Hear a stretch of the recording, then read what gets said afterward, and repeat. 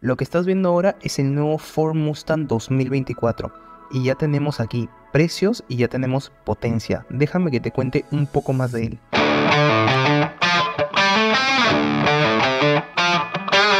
Comencemos por la parte estética y te cuento que este nuevo Ford Mustang ha sido prácticamente un reajuste de diseño, pero no ha sido un cambio generacional. Ford dice que lo que funciona hay que ir modificándolo poco a poco y lo ha hecho simplemente más anguloso y con una cara ahora que se ve un poco más agresiva.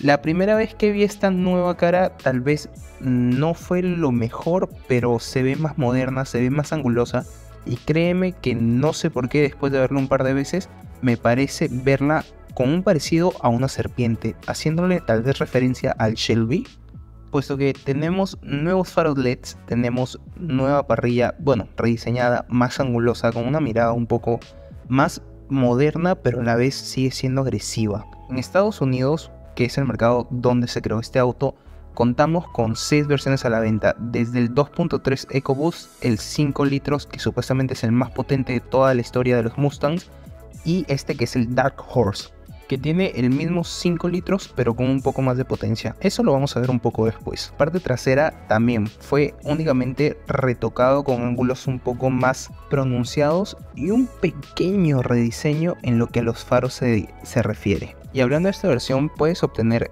este alerón trasero también puedes obtener otro, pero este Mustang ya comienza a ser como muchos europeos que todo le puedes agregar por un precio extra. Con el diseño trasero podemos ver que las nalgas del auto han sido ensanchadas y tenemos un pequeño recordatorio de todos los Mustangs que han existido en el parabrisas trasero. Es un detallito como un huevito de Pascua que nos deja Ford en la parte de atrás de este nuevo Mustang. Pensándonos a centrar en esta versión, la Dark Horse, podemos encontrar unos frenos y unas llantas totalmente diferentes de la versión 2.3 EcoBoost, que son estas llantas de 19 pulgadas y con frenos Brembo. Calcar que también puedes pedir estos frenos Brembo como opcionales desde la versión 2.3 EcoBoost. Más los neumáticos te vienen con 255 y 40 adelante y 275 y 40 atrás, pero opcionalmente también puedes pedir unos eh, neumáticos de 305 y 30 adelante y 315 con 30 atrás. Ahora pasemos a ver qué tiene bajo el motor este Dark Horse. Igual dejo la potencia de todas las otras versiones, pero centrémonos en esta. Esta es el V8 5 litros más potente que cualquier Mustang haya tenido. Hablamos de 506 caballos de fuerza y 566 newtons metro. Además, solo en esta versión te activa una velocidad máxima un poco más alta que en la versión GT normal. Y obviamente con un poquito más de caballaje. Bueno, si quieres escuchar un poco el motor, ahora mismo te voy a dejar un poco de cómo suena este V8 5.0 litros. Es hermoso.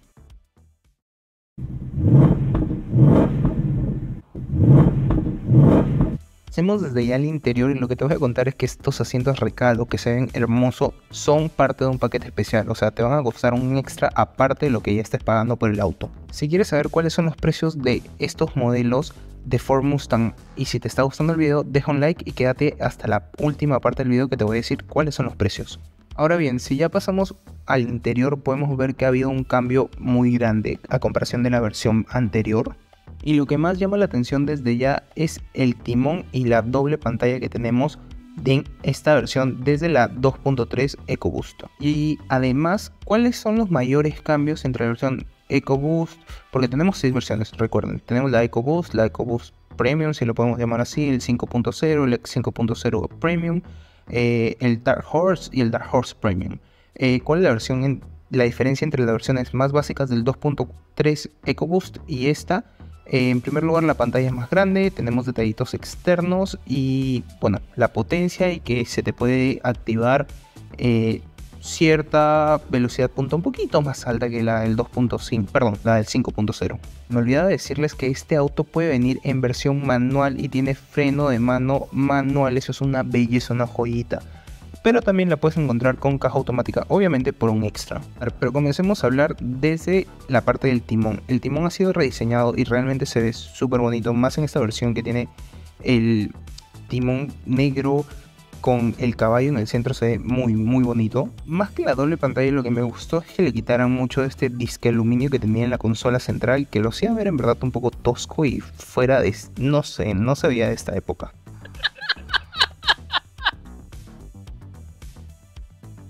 Ya pasando a la pantalla, te voy a contar que la pantalla digital que tiene como tacómetro es de 12.4 pulgadas, en donde podrás ver realmente prácticamente todo. Puedes cambiarle desde el color, puedes cambiarle el diseño, puedes cambiarle muchísimas cosas y todo gracias a la pantalla central que es de 13.2 pulgadas o con los comandos que tienes en el volante que déjame decirte otra vez que se ve demasiado bien. Me gusta demasiado ese volante. Es muy simple pero muy bonito.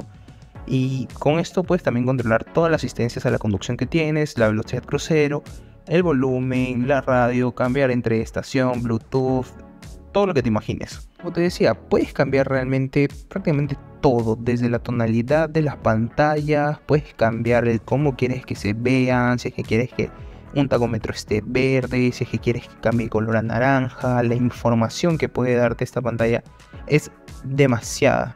Lo que me gusta es que no se ve una pantallita con gráficos baratos, o sea, tienes muchas opciones, se ve bien los gráficos, te da una sensación muy buena realmente. Es más, puedes ponerlo en un modo que lo puedas ver como prácticamente el Ford GT, no sé si lo conoces, pero así tiene la, información del velocímetro y lo puedes ver igual a eso.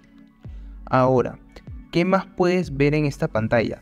Puedes ver el modo que has seleccionado, puesto que este auto tiene modos de manejo, obviamente va a estar el modo Sport, lo puedes ver, puedes ver si estás en modo normal, puedes ver si es que están los pasajeros o tú mismo con el cinturón de seguridad y todo esto, como te digo, puede variar. Ahora, pasando a la pantalla central. Esta pantalla central, al igual que el tacómetro que es 100% digital, como ya lo dije, es de 13.2 pulgadas y puede variar mucha información. Además de variar cómo se ve, puede manipular mucha información. Cabe recalcar que este auto cuenta con Android Auto y Apple CarPlay. Realmente sería una ofensa si es que en el 2023 no cuenta con este sistema. Aparte puedes incluirle el sistema de navegación propio de, Ford que también, bueno, no sé si en todos los países, pero al menos en Estados Unidos sí lo ofrece. Es la última versión del sistema de navegación de Ford, que es el 4.0, su sistema operativo, y además puedes variar con todas las configuraciones que hagas cuando tú conectes el celular.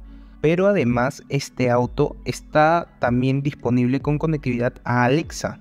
Y además en esta versión puedes tener las 12 bocinas firmadas por Van Olsen, Además, puedes manipular lo que es, por ejemplo, la calefacción de los asientos, la temperatura de los asientos, que no necesariamente lo puedes hacer solo desde la pantalla, pero también tienes la opción ahí. Puedes entrar al mismo menú del sistema operativo de Ford o puedes conectarlo al Android Auto.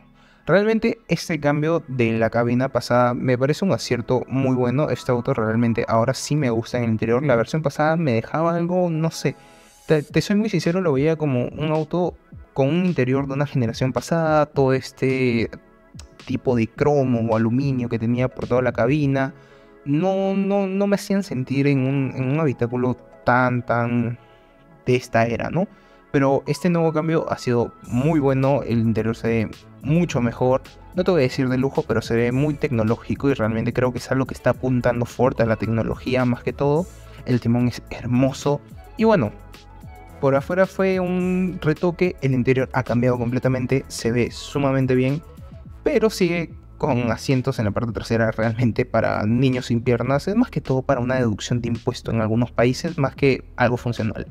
La cajuela es no tan reducida realmente, pero bueno, comencemos a hablar de los precios, señores. Les voy a dar los precios que han sido fijados en el mercado norteamericano, que es donde se produce y se supone que tenemos los precios más económicos que vamos a encontrar en cualquier otro país. Este Ford Mustang 2024 se comienza a comercializar en la versión EcoBoost desde los 31 mil prácticamente, son 30.900 dólares y puede llegar a costar en la versión Dark Horse Premium hasta los 63 mil dólares.